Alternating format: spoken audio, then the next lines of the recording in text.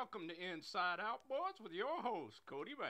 Hello everybody, welcome back to the channel. Big hello to the new subscribers. Thank you for stopping in and joining us here. Okay.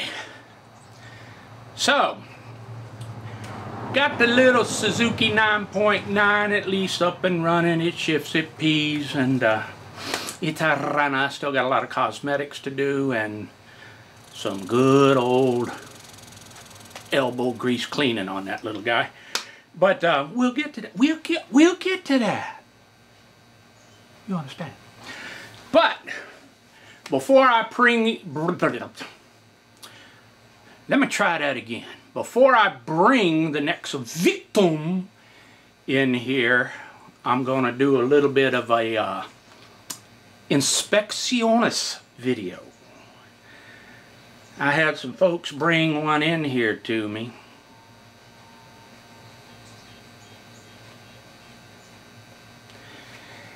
And I don't know, but something tells me it's bad. Something tells me it's bad. So we're going to look at this thing. And the engine in cuestiones, you understand I speak Spanish is a 55 commercial. Another one just like the other one. Except with this one, well, I'm going to show you, so we'll go out there and take a look at it. Something just don't seem quite right. So that's what we're going to do. You understand? And, uh, whoa, whoa, whoa, what's, what's that? Is that an earthquake?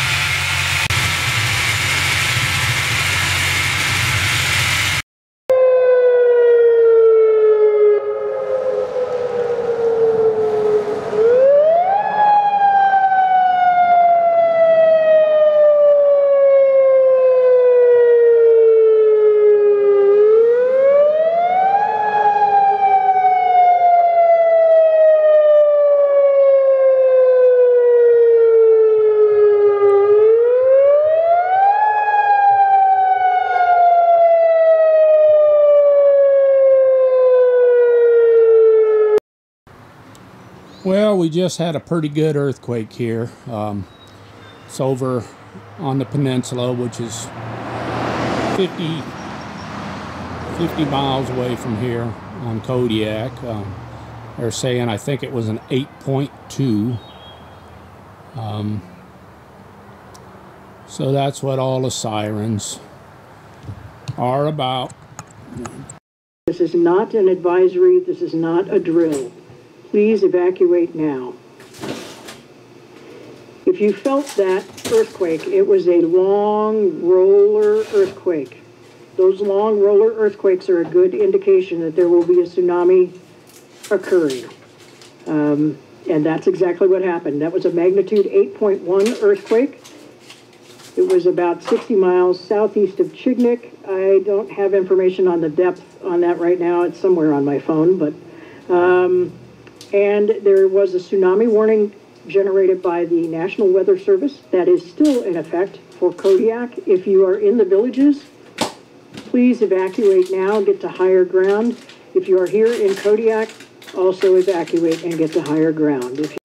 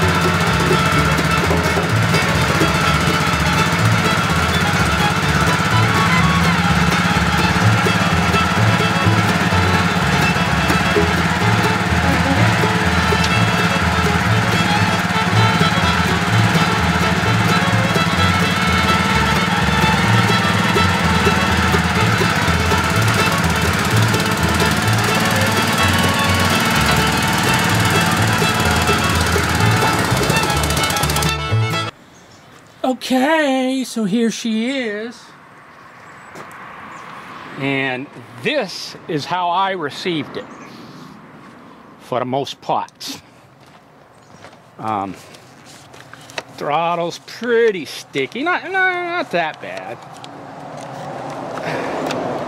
It'll go a little bit in reverse, but I can't line up the flywheel and whatnot to get it in the forward. And you say, well, you say, why? And I'll show you.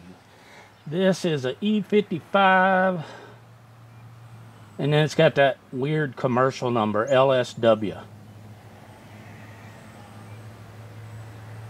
So I don't know if it's a 90 or what it is. But anyway, you see here. Here is the failure of this motor to communicate. You see that? Now, it won't move at all. Then when you look around here, look at, look at, look at. Now, like I said, this is how I received. See there? See there? That head's been off. So we're going to pop that head off and take a look and see.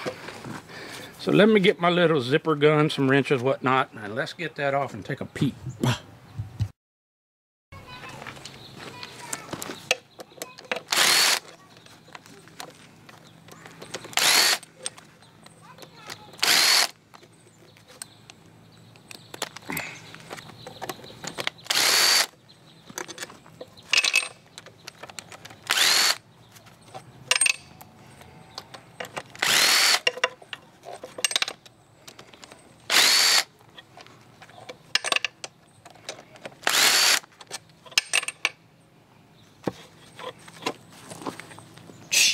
Yeah, many crickets. Many crickets. What size are those? Could it be? Could it be? It could. I dropped my socket. By Joe.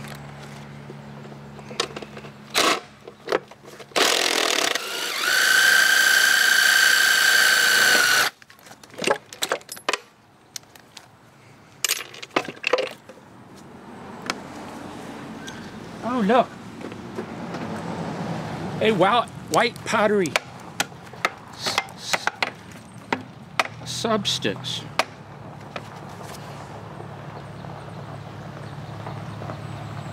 I don't even know if I could get that bottom spark plug out of there.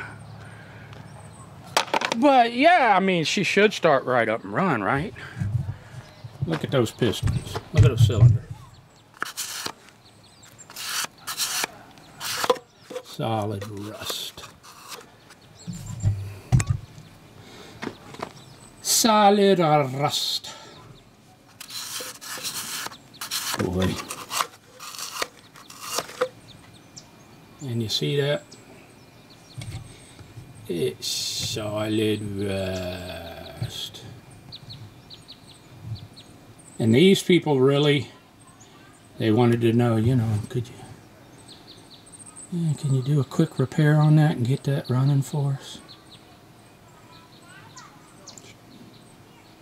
Sure, if I rebuild it. Uh, and like I said, this is how I got the motor. Uh, so, boy, there's some good parts on it though. But uh, that cylinder would need to be taken off, or excuse me, that power head would need to be taken off and uh, actually put on a honing machine and go a thousandths or more over, I'm sure. Um, so I will call them and let them know. Um, could I repair this? Could I, you know, hone this myself and all that? I, I think so. Uh, one reason is these these commercial 55s are just just that tough. I mean, but this one, he told me it was overheated, severely, badly overheated. And then it was kind of thrown up. Uh, I think he said his cousin tried to work on it and didn't get anywhere, so they thought they'd bring it to me and see if there's hope. Well, depending on what they want to spend, there's certainly hope because everything other than the cylinders uh, is most likely fine. But when he says it got really hot, that definition can be quite vague. You'll understand. Um, who knows what the pistons, the skirting on the pistons, and, and so forth. Uh, the, the, the the, the top surface of the piston don't look bad, but uh, there's no pitting or nothing I see on that. So th this thing's probably buildable, but that's what it would take. And then given the overall condition of everything else, as salty and dirty as it is, not cost effective um, for me to do it for somebody else. Certainly cost effective for them to do it on their own. I mean, these are one of the, in my opinions, one of the toughest outboards OMC had, had going. But this one needs more than it's economically worth to repair it for And that's the other thing. the head gasket's gone. So it's just not repairable. And I will call the owner and let him know that. So that was a fairly quick inspection, wasn't it? So I got to make some phone calls on that one. I'll be back. Well, we all know what it means when I wear the hat. It means somebody came bearing the gifts. So, it is Christmas in August. What do you say? We go over there and look at it. It's a cutie. It's a little bitty cutie. Want to see it? Let's go look. There she is. It's a cutie. It's a little cutie. Look at that. That is a made in Belgium little cutie. This little cutie is a 1990. And uh, there is a little bit of an issue with it. And I will show you what that issue is. If you look right there at the throat of the carburetor, you can see all this rust colored water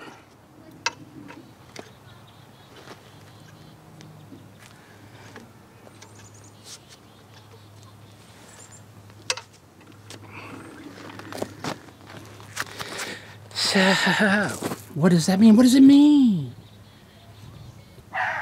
It means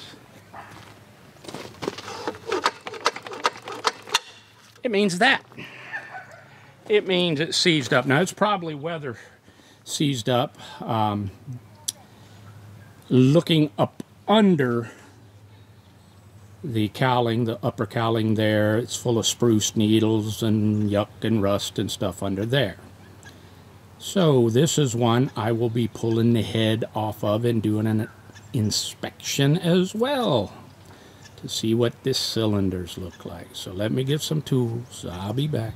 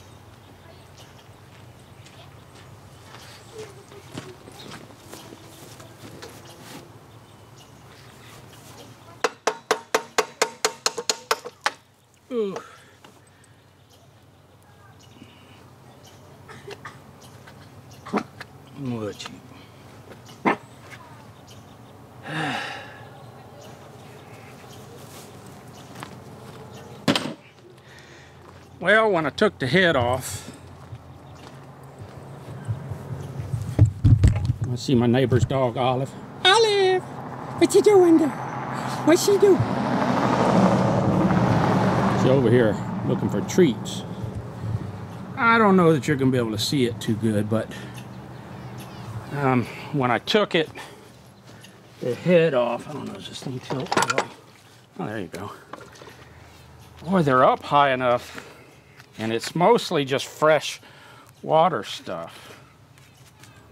See all this spruce and spider webs, there's creepy crawlies in there, just, just abused. Spider webs, everything, so. This little head gasket. Boy, what a mess. It does, being that it's Belgium, it has the forward and neutral. There's forward and there's neutral. But, boy, I think those will hone up actually. With just with just a ball hone right right in here. So I'm going to spray a little stuff in there and get them soaking. And once I let them soak for a little bit, I'll take this off and see if I can get them a, a breaker on there and get it working. See what happens. So I'll be back.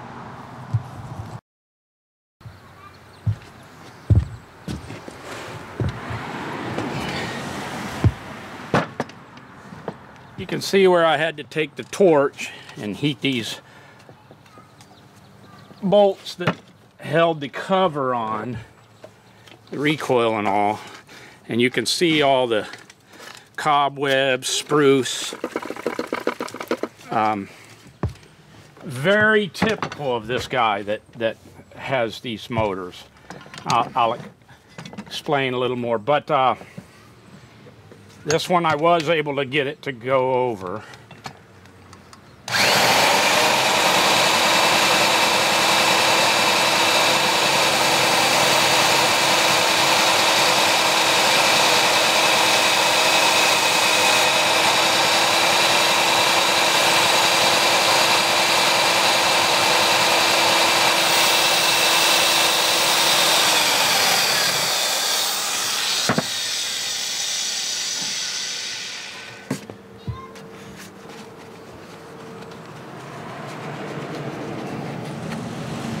There's some discoloration on the cylinder walls, but I don't see any real heavy pitting or anything. So a light hone on this and it might go. Um, this motor, you can see all the rusty water that came out of the throat of the carburetor. So we'll open that carburetor, but I, you know, I know what it's gonna look like. Um, and like I said, this guy here, um, I've traded him and sold him four or five small outboards like this over the last 10 years or so. And every one he brings back are just like that. In fact, I sold him this motor three or four years ago. Um, it left here, it, it was mint, it was pristine. And here it comes, just like several of the others that he gets his hands on. This is what every one of them looks like when he brings them back. They're just destroyed. He throws them out. He lives in a bunch of spruce trees and everything in an old house that's all that looks about like this motor. Um, and uh,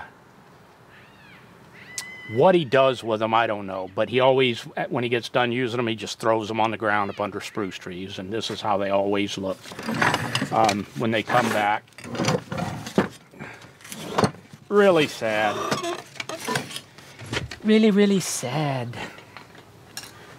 But I'm going to pop this carb real quick. And it'll look about like the rest of this here motor. It'll be for the most part ruined.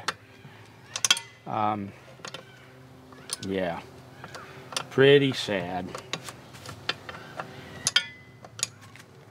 And he'll come in here and he'll, you know, you got, I just need a, like a little two, three horse, blah, blah. And I'm like, what? You're going to use it once or twice and you just throw it on the ground out there and ruin it.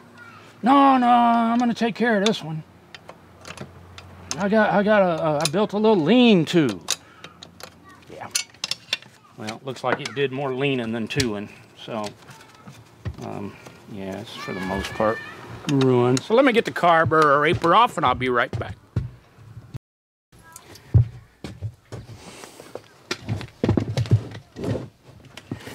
Okay. So this is what came out from under the the intake area. Yes, look. The carburetor is full of yuck. Um,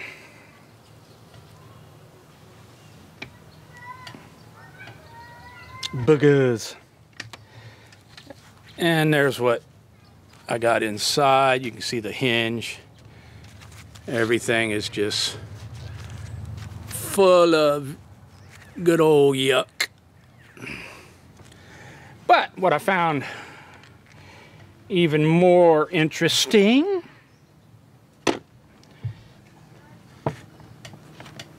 uh, I went ahead and popped the uh, intake. Get you down in here. Yeah.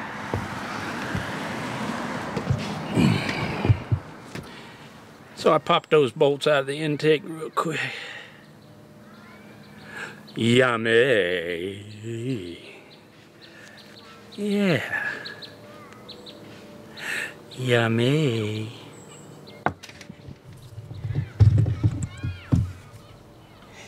Can you see inside there?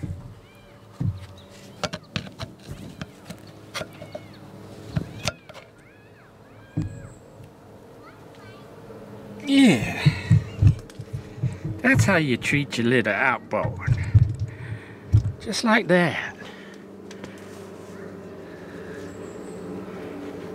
Yeah. So.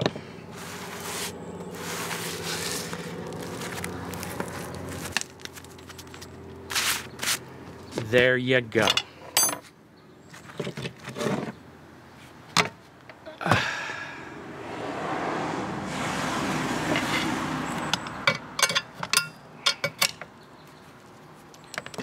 Yeah.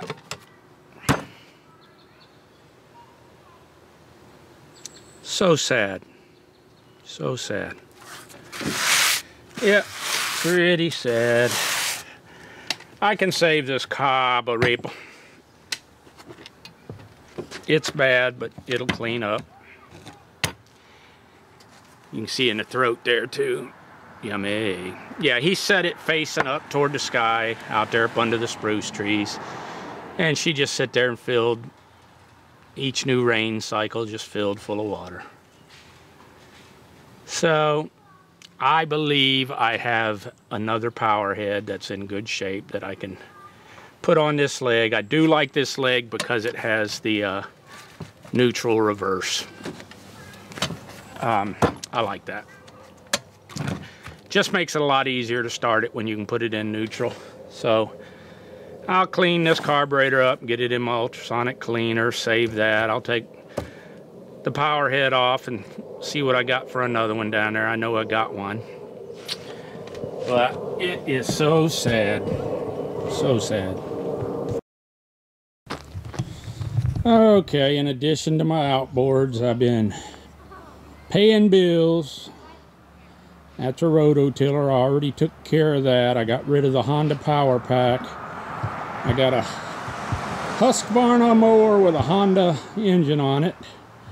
And up under there, I've got a intrinsic fuel pump that I got to take care of. But gotta do what you gotta do.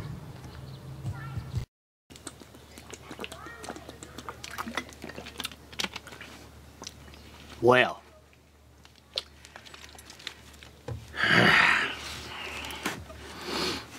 everybody remembers Fred, right? Fred. He's the one-eyed, pissed off porch weather frog. But old Fred also has a, uh, a decree. He's a, he's a, a counseling frog. Whenever I get feeling, you know, you know, a little, let's say, out of timing. I sit and I talk with Fred. And uh, I was telling him, you know, I, I, I just been getting depressed lately. I, I see, you remember that Evinrude 30 I showed you a little video or two ago. Been dunked in the ocean.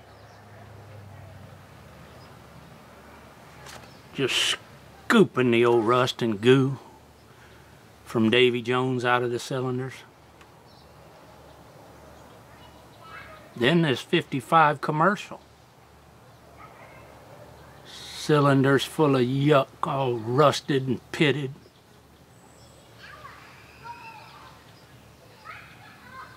So I had to come talk Fred and get some counseling. It's enough to make you cry. Then I told Fred, I said, this cute little three-horse Johnson about took me over the edge. These outboard killers.